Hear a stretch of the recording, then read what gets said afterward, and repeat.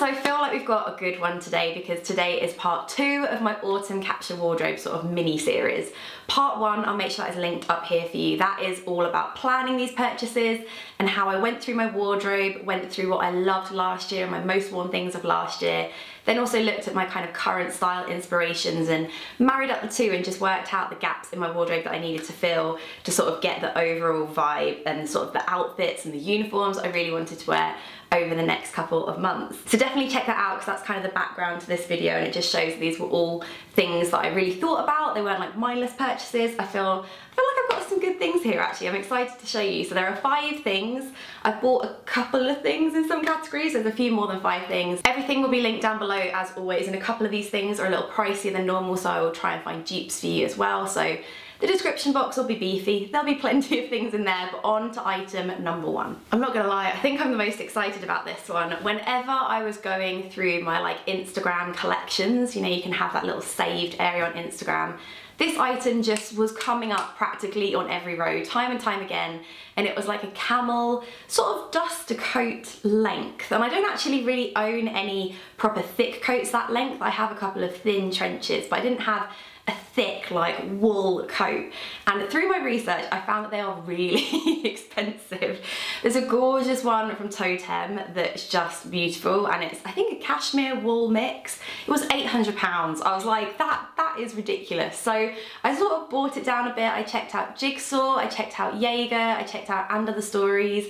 And Other Stories actually had a really really nice one, probably quite the closest sort of high street Jeep to what I actually went for. But in the end I went for this one one from Whistles and I absolutely love it. It's exactly what I wanted. It's a little bit more structured than perhaps the other ones that I'd seen online and it does come with a wraparound if you want to wear it kind of more fitted and like trench coat style but it's the perfect length it just fits really well. I picked it up in a size 10, I think. Nope, I got it in a 12. Sometimes I tend to get a size 12 in jackets just because it's nice to be able to have a bit of like space to move around and be able to wear chunky knits. Wait, they come in later on. I just bloody love it and I've been wearing it a ton. I've been wearing it in vlogs like you guys have seen it in like Instagram photos and stuff. And annoyingly, it wasn't when I bought it, but now it is 20% off. Whistles have 20% off across the whole website, which is insane. But it ends tomorrow night, so Monday night um, after this video goes live. So if you want to get 20% off of the whole of Whistles, then definitely check out their website. This is just my favourite thing in my wardrobe right now.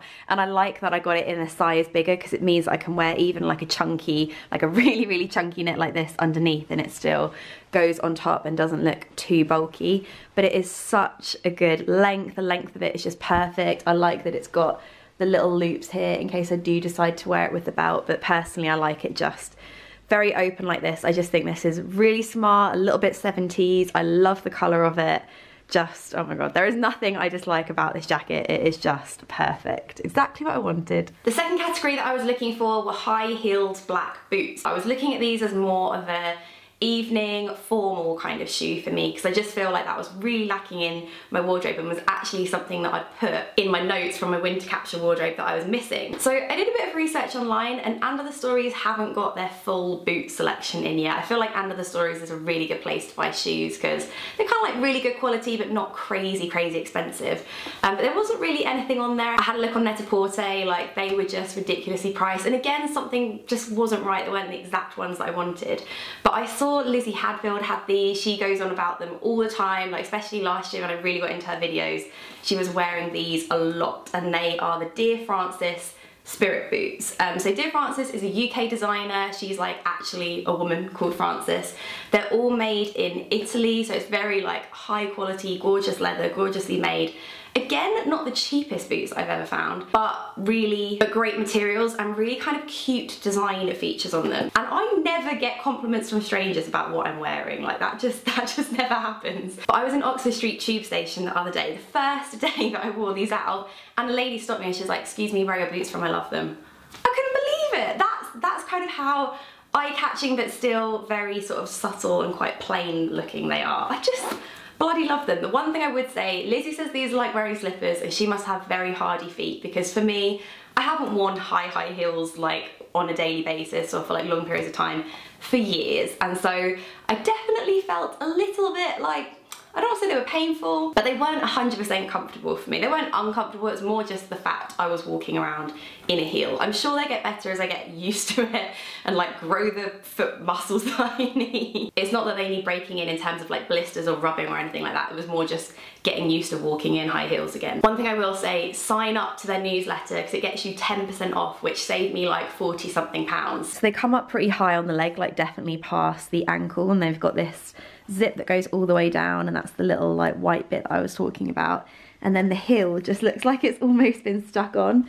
And like I said that bit of uh, patent leather down the back. I'm not sure you can really see that but a little change in texture and honestly so soft like I said no problems wearing them in in terms of like blisters or rubbing or anything like that it's just a case of me uh, getting used to wearing these bad boys again. So one category that I really went with were chunky knits. And again, when I went through, these were just coming up on my Instagram saved section again and again. I obviously have a thing for sort of chunky knits, sweater weather, like chunky knits with jeans and boots or like loafers.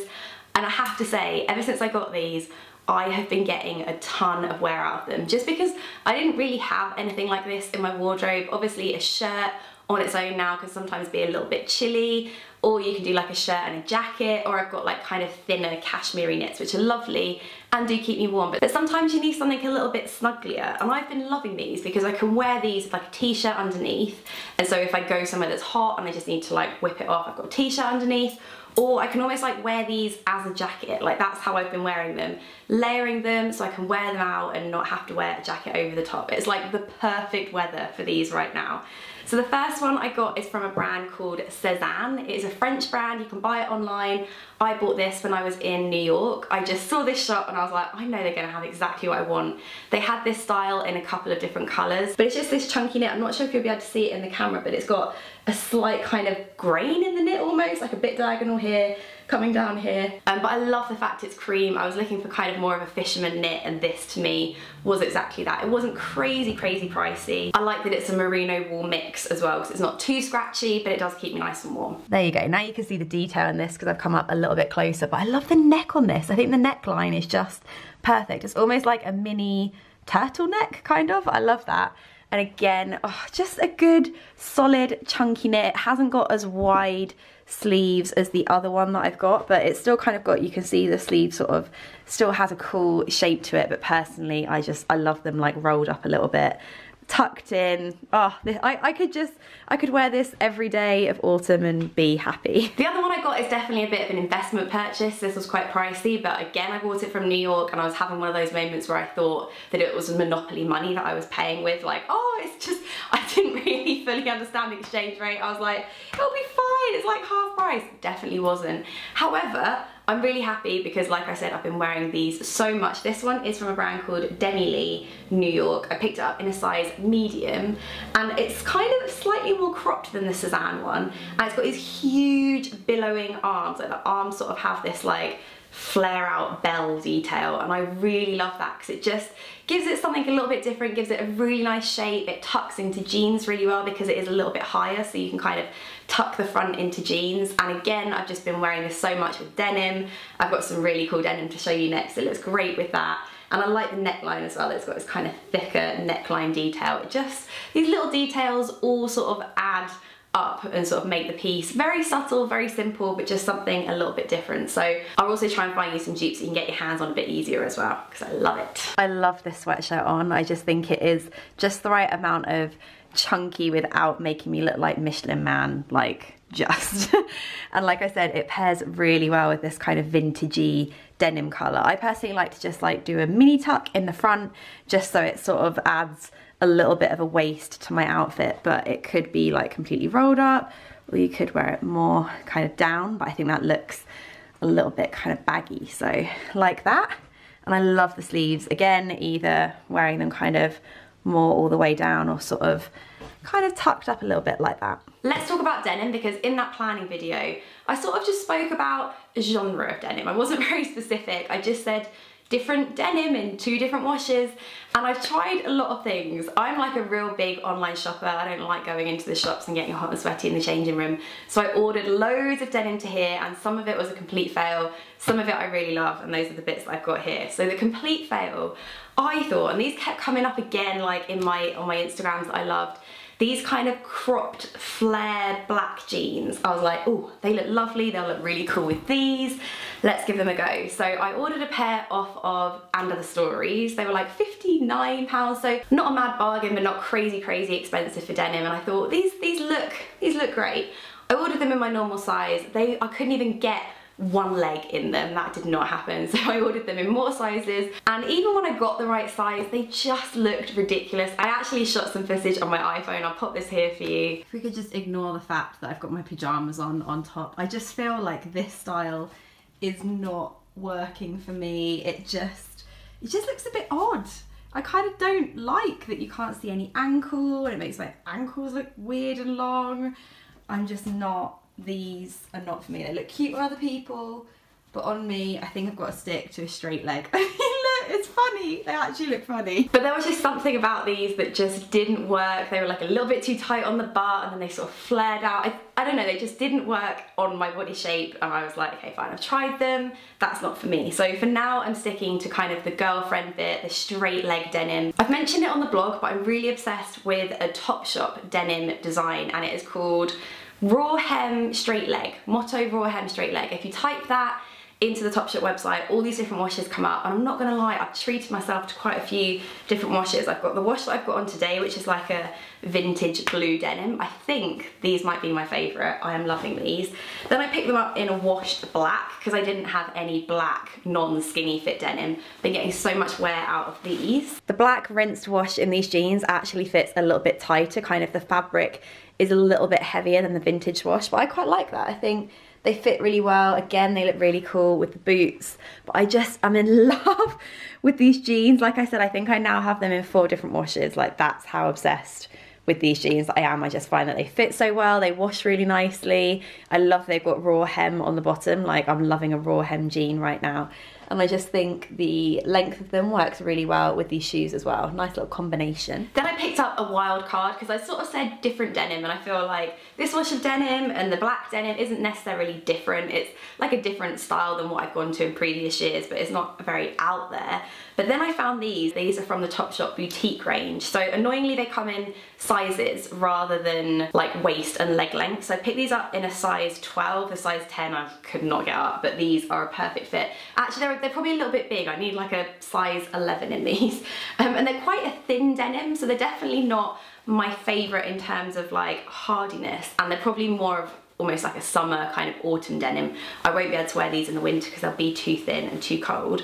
However, all those things aside, I love how these look and they look so cool with like grey knits on top, black knits on top. This would be like a really good outfit. And it's just something a bit different because I'm literally living in denim and I'm all right with it. I'm not even trying to fight it anymore, but this just gives me another option. I feel like these are coming up much more like fluorescent white than they actually are in real life on camera.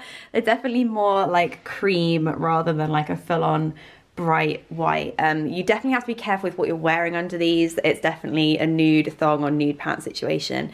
And if we can just ignore the fact, these really need an iron. They're freshly washed, um, but they definitely need an iron. There's kind of a bit of a crinkle in them that's making them look more like uh, like combat trousers rather than jeans. But I love the waist on these. I think the waist is really cool. I love this frayed detail. Can you tell that I'm loving, loving a bit of frayed finishing right now. the final item that I mentioned in my planning video was like a black roll neck. I just thought it would be really good for layering underneath things, layering under a camisole, layering under chunky knits. I sort of had never had like a thinner, a really like thin kind of skinny, almost like thermal looking knit. And then I found this on And Other Stories. This is wool, 100% wool actually. I did get this out of my um, washing basket, so it's like a bit crumpled right now. Um, but it's not actually a roll neck. I sort of realised actually having that like massive roll neck is more of like a winter thing for me, not necessarily an autumn thing. So I thought having a little mini turtleneck was just what I wanted. This makes me feel very like Steve Jobs chic when I have this on. But it's exactly what I wanted. It's very clingy to the body, it's very tight, but actually I quite like that. It's really cool, like tucked into things. I've been getting a lot, I mean, a lot of use out of it, which is why it's in my washing basket. Um, I really like it. It's also a little bit see-through, which Mark was like, oh, hello, when he saw it.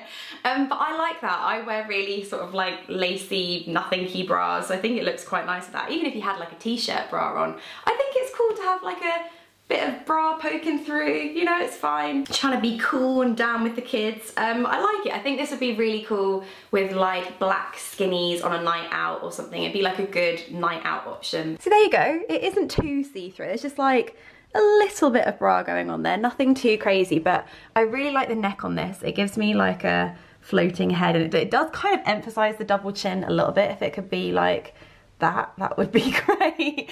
um, it's quite hard to get over the top of your head without getting makeup on. That's the only thing. I would definitely put this on before putting makeup on.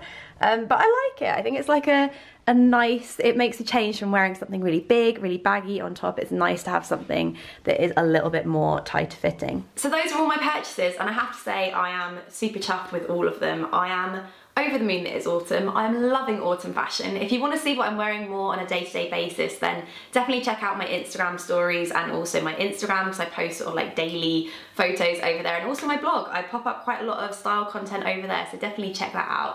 Thank you so much for watching. Oh, actually, speaking of the blog, there is a new blog post today all about like my autumn style predictions. If you want to see the items that I think that I'll be wearing the most over the next couple of months. And there's also, there's a bit of a question in there as well. There's purchase that I've got a question mark by, so I'd love to hear your answers to that. Uh, but thanks for watching and I will see you on Wednesday, the brand new vlog, which is actually a vlog for my birthday. It is really long, um, but I quite like it. It gives me like the warm fuzzies when I watch it. So definitely check that out. Have a great weekend and I'll see you then. Bye.